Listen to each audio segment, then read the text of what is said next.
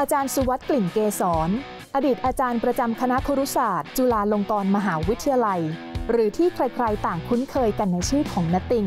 นักพากย์และผู้บรรยายกีฬาชื่อดัง น้ำเสียงของนติงที่คุ้นหู ตลอดระยะเวลานานกว่า 4 ทศวรรษทำให้อัธรสของการรับชมกีฬามวยปล้ำสนุกมากยิ่งขึ้นนติงถึงแม้จะไม่ใช่คนแรกที่เริ่มต้นภาคกีฬามวยปล้ำในประเทศไทย แต่ด้วยจิตวิญญาณของผู้ชายที่ชื่นชอบมวยปล้ำเป็นทุนเดิมอยู่แล้วทำให้เขามีลีลาและน้ำเสียงสไตล์กวนๆชอบแซวมีมุกตลกสอดแทรกวลีเด็ดต่างๆ ที่เป็นเอกลักษณ์เฉพาะตัวลงไป จับยกแล้วครับหลบไม่ทันเจอแล้วครับ sidewalk slam จับยกขึ้นมา DDT ครับ ชื่อของน้าติงจึงถูกจดจำจากผู้ชม ในฐานะนักพากย์มวยปล้ำเบอร์หนึ่งครองใจแฟนกีฬามวยปล้ำชาวไทยมาทั่วประเทศสวัสดีค่ะ ต้อนรับคุณผู้ชมทุกท่านนะคะ เข้าสู่ Sport Vision ค่ะ วาไรตี้กีฬาเพื่อคอกีฬาโดยเฉพาะนะคะ และวันนี้ค่ะเราได้รับเกียรติพูดคุยนะคะ เรียกว่าเป็นตำนาน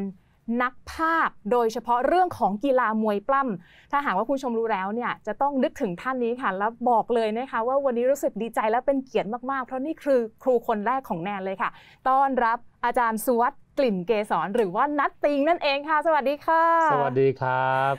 สวัสดีครับวันนี้ดีใจมาก ๆ แล้วก็ประเด็นที่เราอยากจะมาพูดคุยเนี่ยตลอดระยะเวลาการเดินทางในการทำงานของนัตติงอะเชื่อว่ามันน่าจะเป็นประสบการณ์ที่ดีสำหรับตัวหนูเอง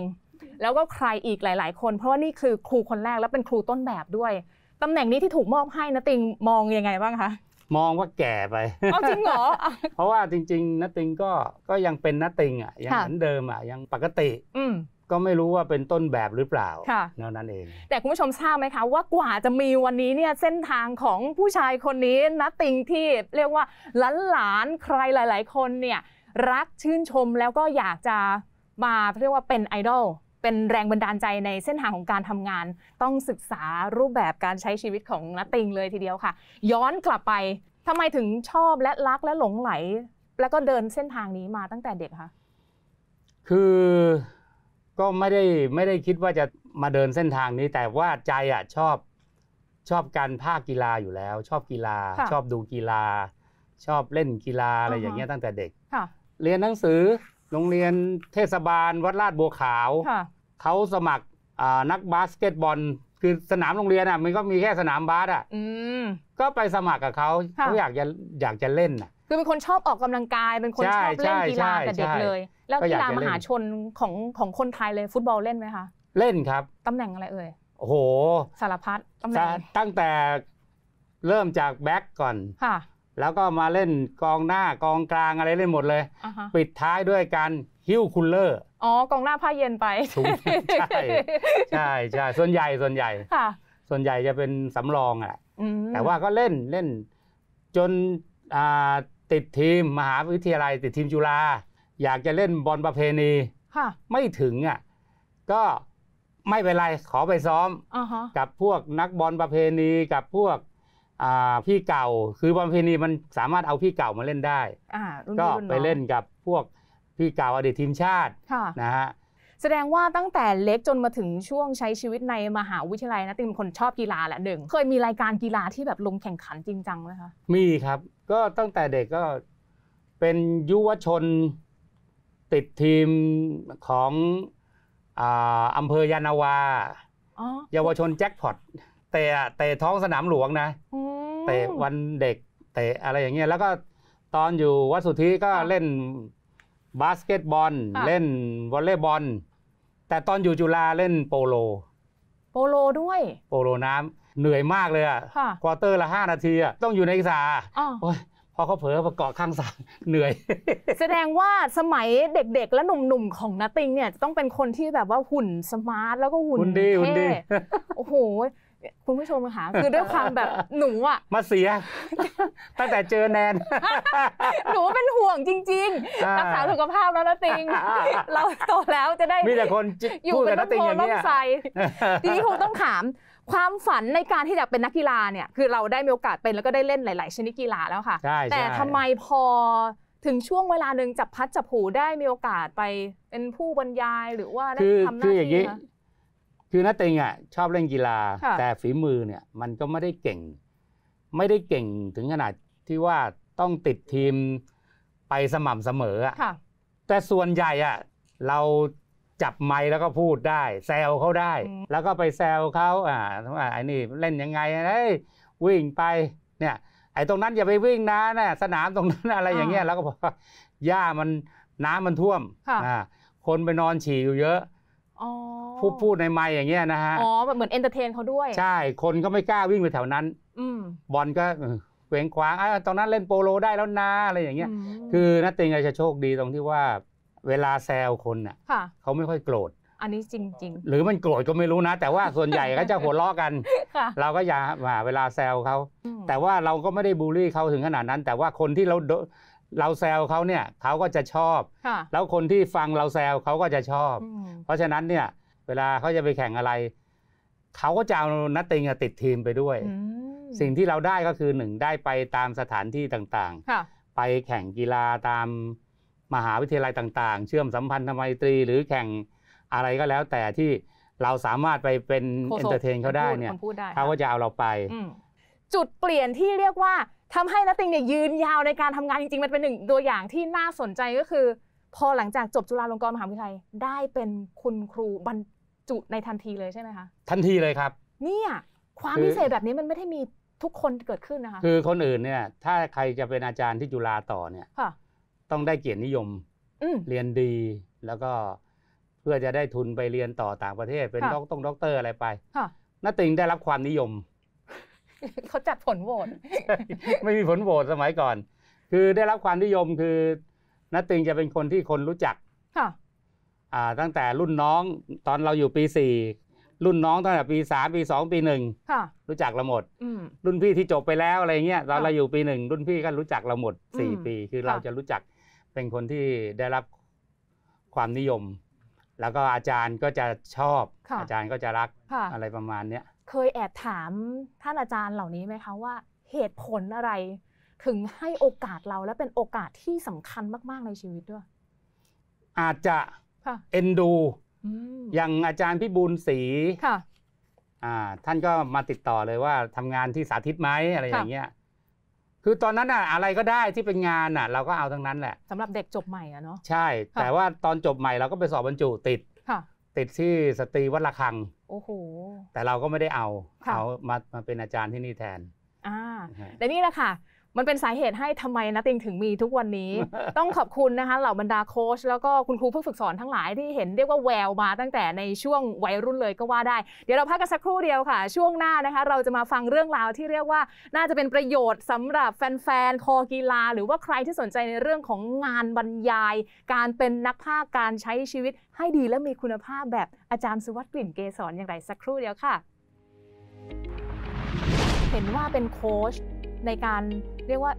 ให้กับกีฬาชนิดหนึ่งด้วยกีฬาชนิดนั้นคืออะไรคะก็โค้ชวอลเลย์บอลเนี่ยเป็นโค้ชตอนฝึกสอนที่โรงเรียนเบญจมาราชาลัยค่ะโรงเรียนเนี้ยเขาไม่ไม่เคยส่งกีฬาแข่งเลยอืมนัดติงไปก็ไปแข่งแล้วก็ได้รองแชมป์กทม นัดแรกเนี่ย15ศูนย์เลย เห็นว่ามีการแบบภาคบรรยาย WWE จนร้านเขาเจ๊งเลยเหรอะคะ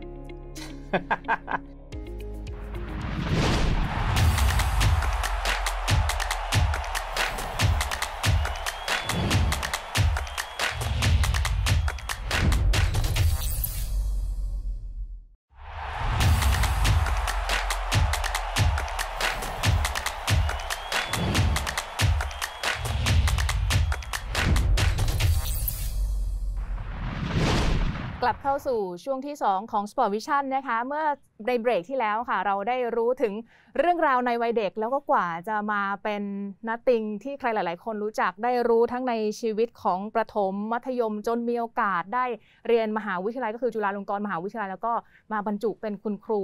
ในโหมดของครูพละศึกษาเลยใช่ใช่ไหมคะใช่เขาเรียนจบวิชาเอกพละศึกษาค่ะนะฮะ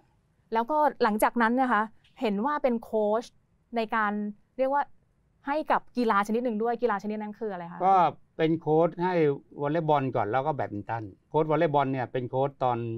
สมัยฝึกสอนค่ะฝึกสอนที่โรงเรียนเบญจมาราชาลัยค่ะโรงเรียนเนี้ยเขาไม่ไม่เคยส่งกีฬาแข่งเลยอืมนัดติงไปก็คือไปทำสนามหญ้าเขาแห้งเลยอะทำไมอะตอนนั้นเขาใช้สนามหญ้าสำหรับซ้อมซ้อมลำค่ะนัดติงไปซ้อมวอลเลย์ทำแบบญี่ปุ่นเนี่ยอ่า มีกระโดดกบขึ้นบันไดลงบันไดอะไรอย่างเงี้ยอ๋อฮะแล้วก็ไปแข่งแล้วก็ได้รองแชมป์กทม นัดแรกเนี่ยสิบห้าศูนย์เลยหูขาดเลยเขาเขาเสิร์ฟครั้งเดียวเลย ทุกวันเนี้ยเด็กเบนจามะเนี่ยถ้าถ้าจะนับอายุก็ประมาณ 59 58 แล้วนะค่ะบางคนก็ 60 ละค่ะ ในก็ในรุ่นที่ที่นัตที่ติงนัตเป็ติงนไปฝึกโค้ชสอนใช่เนี่ยค่ะอะเชื่อไหมว่ายังติดต่อกันอยู่เลยอ่า ยังติดต่อเพราะพอดีมันมีไลน์มีอะไรก็ติดค่ะต่อไปกินข้าวกันอ่าเลี้ยงวันเกิดอะไรอย่างเงี้ยอืมนัตติงเขาก็ยังติดต่อกับนัตติงอยู่ค่ะก็เป็นสิ่งที่เราเราภาคภูมิใจ เพราะมาอยู่ที่จุฬาที่อยู่สาธิตนัตติงก็ไปเป็นโค้ชให้กับทีมวอลเลย์บอลสาธิตจุฬาก่อนอืมก็ได้เข้ารอบ 8 ทีมสุดท้ายกรมพละค่ะแล้วก็มาเป็นโค้ชแบดมินตันอืม ส่วนใหญ่ก็จะแข่งกีฬาสาธิตสามัคคีก็ได้แชมป์บ้างอะไรบ้าง อันนั้นก็คือใน part หนึ่งของการเป็นคุณครูพละแล้วก็คุมทีม ให้มีนักกีฬาลงไปทำการแข่งขันตามผลงานต่างๆ แล้วเอามาผนวกรวมกับเป็นคนที่ชอบพูดชอบ entertain แล้วทำไมจับพลัดจับผลูถึงเอาสองอย่างมารวมกัน แล้วกลายเป็นอีกหนึ่งอาชีพ จนสร้าง character ของตัวเองมาได้จนถึงทุกวันนี้คะด้วยการที่ว่าเราชอบพูดอะนะแล้วก็ ตอนอยู่จุฬาเนี่ยเราก็จะมีอีกอาชีพหนึ่งคือจัดนันทนาการอืมให้กับบุคลากรจุฬาค่ะคุณสุรางค์เปรมปรีคุณค่ะแดงค่ะตอนนั้นอยู่เป็นผู้บริหารช่องเจ็ดแต่ช่องเจ็ดเขาก็จะถ่ายทอดกีฬาเขตอืมกีฬาแห่งชาติปัจจุบันนี้แหละค่ะแต่สมัยก่อนเรียกกันกีฬาเขต ก็อยากจะได้นักภาคอืมก็ช่องเจ็ดก็เห็นว่าเรามีแววก็ให้ภาค ตอนนั้นภาคกี่ชนิดกีฬาคะหรือว่าเริ่มต้นจากอะไรก่อนวอลเลย์บอล วอลเลย์บอลอืมภาควอลเลย์บอลจนสมาคมวอลเลย์บอลให้ให้โล่อะค่ะภาคสนุกภาคค่ะอ่าตบลูกนี้อะไรอย่างเงี้ยค่ะเราก็มีทักษะวอลเลย์อยู่แล้วค่ะแล้วก็ภาคมวยอืมภาคกรีธาภาคหลายอย่างภาคค่ะทุกอย่าง คือหลักๆ ของการที่จะทำงานภาคหรือว่างานบรรยายเนี่ย มันจะต้องมีปัจจัยอะไรก่อนคืออย่างหนึ่งคือเราต้องรู้เรื่องกฎกติกา อ๋อเราต้องแม่นกับกติกาค่ะแล้วก็รู้เรื่องนักกีฬาอืมนักกีฬาเนี่ยนักติงจะลงไปที่สนามแล้วก็จะไปคุยกับนักกีฬาค่ะสมัยสมัยก่อนมันไม่มีข้อมูลอะไรเนี่ย นอกจากจะไปเดินจดอะไรเรียงตัวเลยอ่าคือเราอ่าทำเองด้วยตัวเองเลยทำด้วยเองเพราะไม่สามารถที่จะไป Google Search หาก็ประวัไม่ติของใช่นักเพราะกีฬาว่าเราได้เราเราไม่ใช่หนังสือพิมพ์อะค่ะเราได้รับเชิญมาเป็นผู้บรรยายอ่า เราก็ไปหาด้วยตัวเอง แล้วผสมผสานยังไงคะกับความสนุกสนานแล้วก็เรื่องของความรู้กฎกติกาที่มี ก็เราก็พากย์ไปเวลาเขาสนุกเราก็สนุกไปด้วยแล้วต้องเหมือมีนกาครนแบบดูอะสร้าง character ไหมคะว่าเอ้ยสไตล์เนี้ยแหละ แล้วคนจะนึกถึงเราน้าติงไม่เคยคิดเลยอะอ๋อฮะคิดแต่ว่าเออไปทำหน้าที่พากย์แล้วก็ทำให้เขาสนุกทำให้เขาสนุกเหมือนกับที่เราพากย์นั่งพากย์ข้างสนาม เพียงแต่ว่าก็ใช้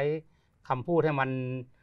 ดูเหมาะสมกับการถ่ายทอดทีวีอืมอันนี้คือเรียกว่ามันเป็นน้ำจิ้มเลย แต่หลังจากนั้นค่ะ มันมีอีกหนึ่งชิ้นงานที่กลายเป็นมาสเตอร์พี e ของน้าติงเลยก็ว่าได้ ถูกจับมาให้ทำหน้าที่เกี่ยวกับเรื่องของการพากย์มวยปล้ำ WWE แล้วก็ต้องบอกเลยว่าหนูก็เป็นหนึ่งในบุคคลที่นี่คือครูจริง ๆ ที่พาแนนเข้าวงการมวยปล้ำอย่างแท้จริง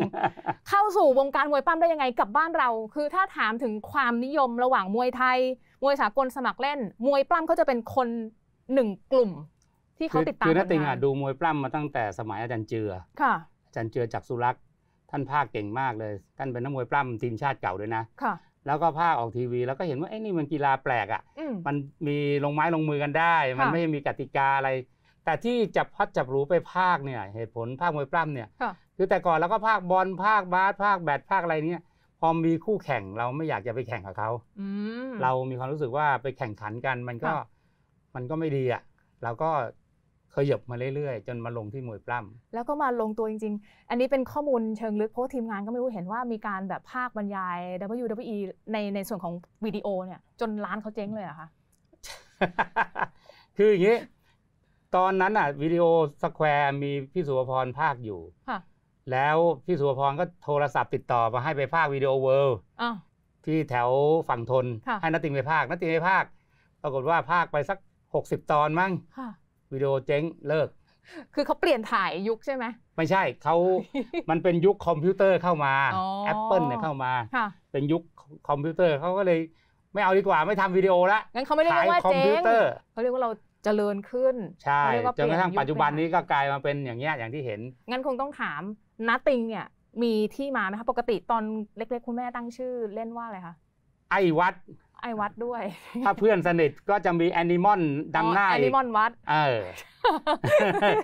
ไม่จำเป็นไม่ต้องเน้นอ๋อเหรออ๋ออ๋อขอโทษอ่าแล้วทำไมทุกคนถึงมารู้จักอาจารย์สุวัสดิ์กลิ่นเกษรในนามของนาติงก็ตอนนั้นเป็นอาจารย์แล้ว แล้วค่ะคนเขาก็ถามมาว่าไอ้คนภาคมวยปล้ำอะอืมมันคือใครมันชื่ออะไรค่ะนาติงก็กลัวว่าเดี๋ยวทางหน่วยงานเขาจะ ว่าเอาว่าไอ้เรามันเพราะเราภาคไม่เหมือนชาวบ้านไงค่ะเราก็ภาคเฮฮาไปอย่างเงี้ยนะอืมมันดีหรือเปล่าเรายังไม่รู้ค่ะอ่าเราก็เลยเอาชื่ออะไรดีว่า ชื่อสติงอืมสติงคือชื่อนักมวยปล้ท่านหนึ่งใช่ค่ะำทาหน้าอืมสมัยนั้นน่ะ สติงทาหน้าหลากสีค่ะ มันก็เก่งในระดับหนึ่งถึงขนาดเป็นแชมป์บ้างแต่อะไรเงี้ยค่ะแต่ว่าไม่ได้เก่งแบบสุดอืมๆแล้วเป็นธรรมะค่ะ เราก็เลยเอาชื่อสติงก็แล้วกันอืมแต่นี่เวลาจะจะเรียกว่าสติงสติงเนี่ยมันก็กระไรอยู่ตอนนั้นนัดต่อยแซมเบ้ท่านก็กำลังโอ้โหดังดังอยู่แล้วใช่นัค่ะดต่อยอะนัดติงก็เลยบอกว่าอะชื่อ ชื่อนัดติงก็แล้วกันอืมอ่าก็เป็นน้าติงไป ถ้าอนาคตหนูจะเรียกลุงติง ปู่ติง ไม่ได้แล้ว ก็คือเป็นน้าเนี่ยมันดีกว่า เพราะว่ามันน้องแม่ไงอ๋อใช่เป็นยังไงก็เนี่ยว่าปู่ติงเงี้ยใครจะไปรู้อะใช่ไหมลุงติงเงี้ยใครจะไปรู้อะต้องน้าติงไงเรียกว่านี่คือนามแฝงที่ทำให้ทุกคนอะรู้จัก เรารู้ถึงที่มาที่ไปของคำว่าน้าติงนั้นมาจากคำว่า Sting ซึ่งถือว่าเป็นหนึ่งใน character ของวงการมวยปล้ำ WWE ที่ยุคนึงเนี่ยเขามีชื่อเสียง แล้วก็หน้าตาหล่อเหลาแบบที่น้าติง ดึงนำมาใช้เป็น nickname ของตัวเองในวงการใช่อย่างที่แล้วน้าติงก็ดูว่าหน้าน้าติงก็คล้าย Sting อันเนี้ยแหละถูกหน้าต้องตาดีเพราะฉะนั้น เดี๋ยวเราจะพักกันสักครู่เดียวนะคะอ่าช่วงหน้าค่ะจะมาถามถึงแนวทางแล้วก็ character การบรรยายที่ทำให้ใครหลาย ๆ คนเนี่ยรู้จักน้าติงจากการพากย์ WWE สักครู่เดียวค่ะ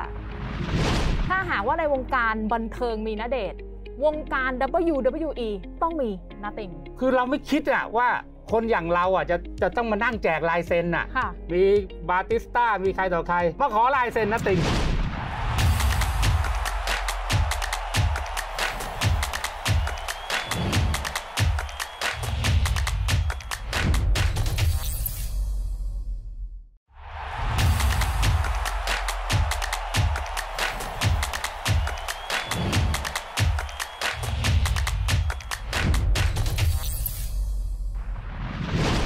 กลับเข้าสู่ Sport Vision กันอีกครั้งนะคะ เราได้รู้จักแล้วล่ะค่ะว่าที่มาที่ไปของคำว่า nothing มันมาจากสติงนั่นเอง เราคงยังต้องพูดกันอย่างต่อเนื่องคือต้องยอมรับเลยนะคะว่าหนูโตมาปุ๊บอาจจะยังไม่ได้รู้จักเรื่องของมวยปล้ำ WWE ค่ะ แต่ nothing เนี่ยเป็นคนหนึ่งที่ทำให้ใครหลาย ๆ คนเนี่ยก้าวผ่านเส้นบางๆ บางอย่าง มาสนุกสนานกับ WWE ก่อนเข้ารายการหนูพูดแบบนี้ค่ะคุณผู้ชม ถ้าหากว่าในวงการบันเทิงมีนเดช วงการ WWE ต้องมี nothing ใช่หรือไม่โอ้นัดติงไม่อยากคิดอย่างนั้น เพราะค่ะว่า แต่ว่ามันมีตอนหนึ่งอะอย่างอย่างที่ฝรั่งเนี่ยเขาจะ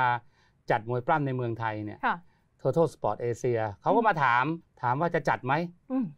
เขาเรียกนัดติงไปถามค่ะคือเขาบอกว่าเขาเขาไปทำวิจัยมาแล้วรีเสิร์ชมาแล้วว่า ไอ้มวยปล้ำเนี่ยมันอย่างญี่ปุ่นเขาจัดนะค่ะอ่า ฮ่องกงเกาหลีมาเลสิงคโปร์อืมเขาจัดค่ะเพราะเพราะโดยเนื้อหาของมวยปล้ำเขาดูกันอืมทำไมเมืองไทยมันดัง เพราะว่าคนชื่อนัตติงค่ะเขาเลยขอดูหน้านัตติงหน่อย เคยมีแฟนคลับมี FC เดินเข้ามาหาไหมคะ แล้วบอกว่าหนูติดตามเสียงบรรยายของนัตติงมาโดยตลอดวันนี้ได้เจอตัวจริงกรี๊ดแล้วสลบลงข้างหน้าเลยเขาคงไม่สลบ แต่ว่าโทษโทษเขาก็ดีใจค่ะนะฮะดีใจแต่ว่า ไม่ได้ไม่ได้คิดว่าตัวเองดังอะไรเพียงแต่ว่า เอ้ย พอเขาเขาบอกว่าเขาจะลองจัดดูเนี่ยค่ะนัตติงก็ช่วยเขาเต็มที่ แต่ว่ามันก็จะมีบริษัทหนึ่งน่ะค่ะเขาจะทำเทปทำซีดี เพลงเปิดตัวมวยปล้ำปรากฏว่าเขาก็ให้นัตติงอะไปเปิดตัวที่เบบี้บริงอะนัตติงจำได้นัตติงไม่รู้หรอกกลางวันอ๋อกลางวัน แต่นัตติงไม่รู้อะไร ไปถึงเนี่ยนัตติงก็บอกคงไม่มีใครมาหรอกค่ะ นัตติงก็นอนหลับไปเลยอ่าเขาเขาปลุกมาเนี่ย โอ้โห คนเยคอะนเต็มเลยอะเขาบอกเขาจะเชิญมาประมาณ200อ่าฮะที่ไหนได้มาประมาณ5 600คนเต็มเลยล้นเลยตั้งแต่กลางวันอะโอ้แล้วสมัยก่อนกล้องมันเป็นฟิล์มนะค่ะ ขอถ่ายรูปอะ แล้วต้องจัดคิวให้ถ่ายแล้วนัตติงแจกลายเซ็นเนี่ยพอกลับไปบ้านอะนัตติงไปบอกภรรยานัตติงอะค่ะเจ้ารัดเราดังแล้วอ่าคือเราไม่คิดอะว่า คนอย่างเราอะจะจะต้องมานั่งแจกลายเซ็นอะ ค่ะ แล้วพอฝรั่งเขามาจัดมวยปล้ำค่ะเขาก็มีแถลงข่าว อ่า ปรากฏว่า สอนรามเทพิทักษ์ค่ะ ดาราทั้งหลายอะอืม มาขอลายเซ็นนะติง รู้สึกยืดเลยมั้ยเออรู้สึกและไอ้ว่าฝรั่งชีวิตเนี่ยเราเปลี่ยนไปไหมที่มาถ่ายเนี่ยนะ ค่ะ มีบาติสต้ามีใครต่อใครก็ไม่ถ่ายไม่รู้จักทุกคนรู้จักรุมน้าติงมาขอมาขอถ่ายรูปกับขอลายเซ็นน้าติงอย่างเดียว ค่ะ ไอ้ฝรั่งยังงงอยู่เลยไอ้ไอ้อ้วนนี่ใครวะอืมนี่ประมาณนั้นถ้ามันกระทืบน้าติงได้มันคงกระทืบไปแล้ว ไม่หรอกกำลังจะถามด้วย เพราะว่าถ้าเราเห็นตัว character ของนักกีฬามวยปล้ำที่ที่เราติดตามอะบางคนเนี่ยสร้าง character มาหูดุเดือดมากใช่ๆบางคนนี่ก็เป็นตัวเหมือนโจ๊กเกอร์ของรายการ หรือบางคนก็จะมาในแนวธรรมะแบบที่น้าติงบอกอ่า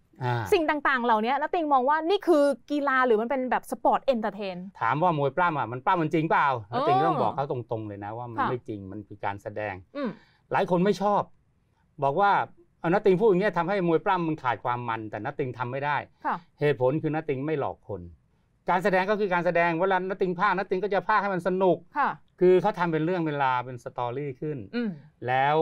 เอ่อก็เหมือนกับว่าการไปดูมวยปล้ำเนี่ย ค่ะคุณได้ดูคอนเสิร์ต เช่นการเปิดตัวมันอลังการมากจริงมีแสงสีเสียงตุ้มตั้มตุ้มตั้มค่ะคุณได้ดูซูเปอร์ฮีโร่คืออมคุณจะเชียร์ใครล่ะอืมคุณเชียร์ Stone Cold อืมคุณเชียร์ John Cena อืมคุณได้เชียร์ The Undertaker เขาคือเขาคือตัวแทนของคุณค่ะคุณได้ดูละครบทใหญ่อันเดอร์เทเกอร์เมื่อกี้ค่ะทำเป็นผีดิบค่ะ สับเปลอเปิดมาตาแล้วกลับหนูเนี่ไม่ยกล้าไม่กล้าเหลือกตาให้ดูใช่ดี๋ยวเด็โบกท็อกกลัวอะไรอย่างเงี้ยเออคือเราเราได้ดูหลายอย่างค่ะนะฮะดูคอนเสิร์ตดูซูเปอร์ฮีโร่มดูละครบทใหญ่ค่ะแล้วเราได้ดู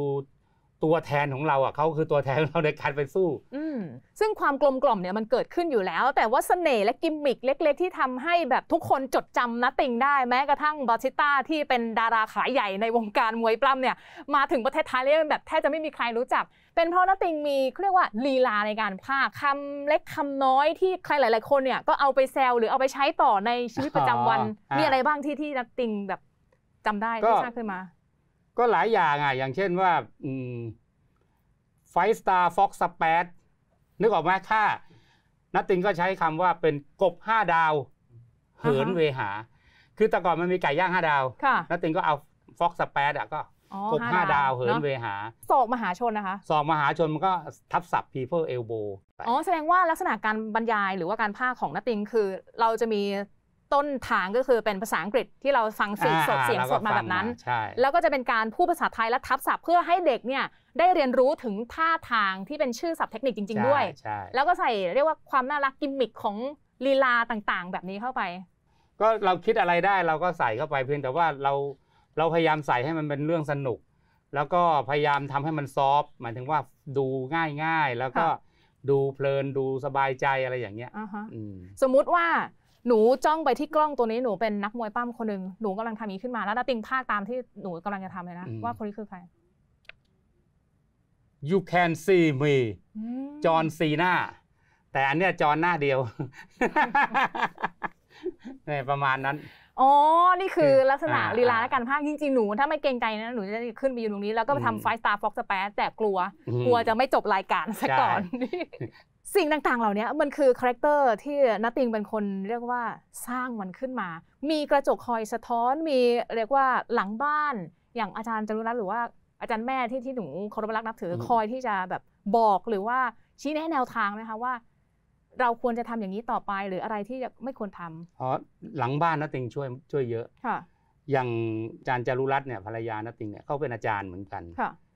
เขาก็จะเตือนนัตติงอะอืมเพราะว่านัตติงก็ไม่ใช่คน ที่เพียบพร้อมอะไรนัตติงก็จะหามบ้างเลยบ้างสนุกจะสนานสของนุกเราเกินไปบ้างเขาก็จะเตือนค่ะว่าอันนี้ไม่เหมาะ อันเนี้ยอืมคำพูดนี้ไม่ดีหรืออะไรอย่างเงี้ยค่ะไม่เหมาะกับเด็กเยาวชนอ่าคือเขาจะเป็นอาจารย์ที่ค่อนข้างจะคอนเซอร์เวทีฟนะค่ะแล้วก็เขาก็จะบอกเราเราก็ต้องรับฟังอืมลูกชายเป็นวัยรุ่นค่ะเขาก็จะเอาศัพท์วัยรุ่นมาพ่อต้องอย่างนี้สิพ่ออมแล้วก็จะเอาเรื่องราวที่ มาเล่าอัปเดตให้เราฟังใหม่ๆในใช่ชีวิตประใช่จำวันในวงการค่ะส่วนลูกสาวก็จะเป็นกำลังใจพ่อสู้นะอ่าอะไรอย่างเงี้ยอ่าเอาเอาน้ำมาให้กินอะไรคือคือมันเป็นครอบครัวอุตสาหกรรมค่ะคือทำงานกันเป็นทีมบอกได้ใช่เลยใช่ใช่แล้วก็เราก็จะมีความสุขนัตติงภาคมวยปล้ำนัตติงไม่เคยคิดว่าเป็นเป็นเป็นงานอะนัตติงคิดว่ามันเป็นหนึ่งในชีวิตประจำวันที่เราจะต้องไปภาคมวยปล้ำค่ะเราจเจ็บป่วยขนาดไหนเราจะมีความรู้สึกนาติงเคยไปผ่าตัดนิ้ว น้ำเกลือแปะอยู่อย่างเงี้ย WrestleMania มันมา ขอให้ตัดสายน้ำเกลือค่ะแล้วก็เข็นมาเพื่อที่จะพากย์ให้คนได้ดูค่ะอันนี้เราทำเพราะอะไร เพราะคนอยากจะดูเราพากย์และเนี่ยค่ะคือบุคคลตัวอย่างนะคะที่เราเห็นเส้นทางการทำงานการใช้ชีวิตการต่อสู้มา เชื่อว่าตลอด 30 นาทีที่เราได้มีการพูดคุยกับน้าติงอาจารย์สุวัสดิ์กลิ่นเกษรน่าจะเป็นแรงบันดาลใจให้ใครหลาย ๆ คนนะคะว่าในเส้นทางของการทำงานถ้าคุณมีใจรัก ใช้คำว่ากีฬาเป็นตัวนำทางค่ะ คุณสามารถที่จะสร้างฝันและสานโอกาสได้อย่างยอดเยี่ยม ขอหันกลับมาที่นัตติงก่อนนัตติงค่ะ หนูดีใจมาก ๆ ที่วันนี้ได้มีโอกาสกลับมาเจอคุณครูอีกครั้ง ขอบคุณนะคะ ขอบคุณจริง ๆ ค่ะครับครับแล้ววันนี้เวลาของรายการนั้นหมดลงแล้วค่ะ คุณผู้ชม เราสามารถที่จะกลับมาติดตามเรื่องราวของบุคคลต้นแบบคนต่อไปได้ แต่จะเป็นใครนั้นรู้กันอย่างแน่นอน วันนี้ขอบพระคุณนะติงนะคะ เราลารายการไปพร้อม ๆ กัน สวัสดีค่ะ สวัสดีครับ มีค่าใช้จ่ายไหมคะสำหรับเด็กๆ ที่เดินเข้ามา walk in เพื่อจะสารฝันตัวเองเอ่อฟรีหมดเลยฮะ ฟรีหมดเลยครับทองโคนได้อะไรคะเนี่ย Academy เนี่ยเลือกเด็กมา 100 คน ไม่ได้หมายความว่าพวกเขาจะกลายไปเป็นสตาร์ทั้ง 100 ดวง ครับ ประโยคนี้จริงเท็จแค่ไหนคะ จริงไหมมันก็จริงนะฮะ ถ้าหากว่านั่นคือเส้นชัย ตอนนี้เราเข้าใกล้มันได้กี่เปอร์เซ็นต์แล้วคะก็มั่นใจว่าในประเทศไทยผมไม่กลัวใคร ในรุ่นรุ่นของเขาเอง ปาร์ติโท คือตอนนี้ผมก็ตั้งเป้าว่าต้องแชมป์ประเทศไทยค่ะ